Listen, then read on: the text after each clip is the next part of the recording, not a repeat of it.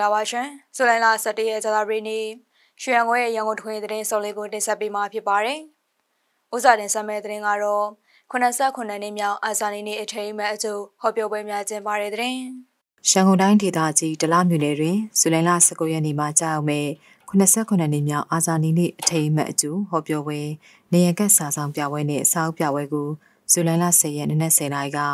အမှတ်နှစ်အခြေခံပညာအထက်တန်းကျောင်းကုမှုတရာခမ်းမမှာပြုလုပ်ရာ အထက်တန်းပြမြန်မာစာဆရာမဒေါက်ခင်ခင်သိန်းကအာဇာနည်နေ့အကြောင်းတည်ကောင်းဆရာများကိုဟောပြောကြောင်းသိရပါတယ်။အလားတူပစွန်တော်မြို့နယ်တွင်89နှစ်မြောက်အာဇာနည်နေ့အထိမ်းအမှတ်အသိပညာပေးဟောပြောပွဲနေရကတ်စာဆောင်နှင့်စာအုပ်စာဆောင်ပြပွဲများကိုအမှတ်လေးအခြေခံပညာအထက်တန်းကျောင်းပင်လုံခမ်းမတွင်ဇူလိုင်လ10ရက်နေ့နက်9:00နာရီကကျင်းပရာ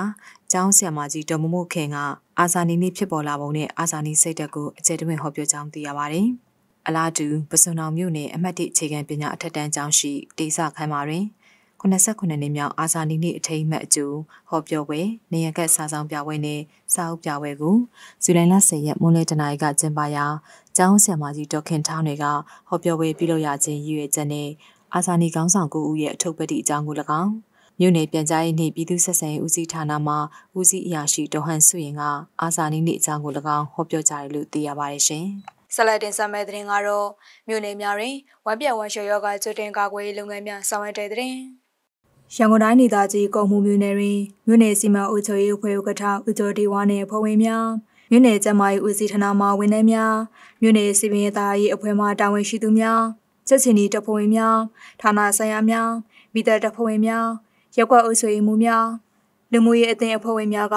ပြည်တော်သားရက်ကွက်ရှိမြို့မာစေ မြို့မရက်ွက်ရှိပညာရမိကသီလရှင်စာသင်တိုင်းဖယားလန်ရက်ွက်ရှိမဟာဝိဇာဒရာကျောင်းတိုင်းနှင့်မြို့တရရက်ွက်ရှိအထက်ကကုံမှုစာသင်ကျောင်းတွင်ကလိုရင်စစ်ခတ်ခြင်းရှေးလုံးအင်သာအနီးပတ်ဝန်းကျင်များအားထုံပြခြင်းလုပ်ငန်းများအားဆောင်ရွက်ကြရလို့သိရပါသည်။ မော်ဘီမြို့နယ်တွင်မြောက်ပိုင်းခရိုင်ပြည်သူ့ကျန်းမာရေးဦးစီးဌာနမှဒေါက်တာအင်းငိန်ဦးနဲ့ဦးစီးရရှိဒေါ်နန်းသူစာမြိုင်တို့ဦးဆောင်က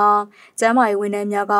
ဝမ်ပြက်ဝမ်ရှော့ယောဂကျွတ်တင်ကာကွယ်ရန်အသိပညာပေးနှိုးဆော်ခြင်းနဲ့အစာအသောက်များတန်ရှင်းလက်ဆက်မှုရှိမရှိနဲ့ရေရင်းရေကန်များရှင်လုံးအင်သားများတန်ရှင်းမှုရှိမရှိကွင်းစစ်ဆေးခြင်းကိုဇူလန်လာကိုရဲတဲ့10နာရီကလူစီကားရနေရာများစေများနဲ့စာသင်ကျောင်းများတွင်ဆောင်ရွက်တယ်လို့သိရပါတယ်။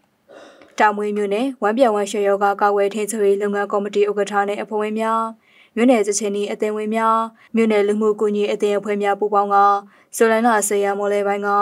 မြို့နယ်အတွင်းဝမ်းပြက်ဝမ်းလျှော်ယောဂဖြစ်ပွားခဲ့တဲ့နေရာများသို့ကွင်းစင်ကြည့်ရှုစစ်ဆေးခြင်းများဆောင်ရွက်ကြရလို့သိရပါဗျ။ တိုက်ကြီးမြို့နယ်အဖျောက်မြို့တွင်ဇူလိုင်လ10ရက်နေ့နက်9နာရီခွဲကအဖျောက်မြို့အုပ်ချုပ်ရေးမှူးဦးစောမင်းထွေးနဲ့ဝန်ထမ်းများဌာနဆိုင်ရာတာဝန်ရှိသူများကျန်းမာရေးဝန်ထမ်းများနဲ့လူမှုရေးအသင်းအဖွဲ့များကဈေးအတွင်းအပြင်တွင်ရောင်းချလျက်ရှိသောစားသောက်ဆိုင်များနဲ့ဈေးရောင်းဈေးဝယ်ပြည်သူများအားပြင်းထန်ဝမ်းပြဝမ်းလျှော်ယောဂကျွတ်တင်ကာကွယ်ရေးအတွက်အသိပညာပေးခြင်းနဲ့ကျန်းမာရေးဝန်ကြီးဌာနမှထုတ်ပြန်ထားတဲ့သတိပေးနှိုးဆွချက်များကိုရှင်းလင်းပြောကြားခြင်းစသည်တို့ကိုအသိပညာပေးဆောင်ရွက်ကြပါတယ်။ ဒလာမြို့နယ်တွင်ဇူလိုင်လ10ရက်နေ့ပိုင်းက